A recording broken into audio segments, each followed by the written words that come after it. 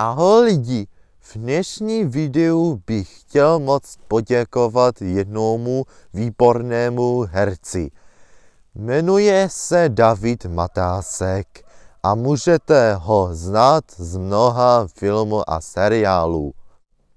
Hrál třeba postavu Candyho ve filmové sérii Pásníku nebo krále v pohádce Tři bratři Hrál také v mnoha seriálech, třeba Letiště, Přešlapy, Redakce a v současné době hraje poručíka Michala Břízu v seriálu Polda.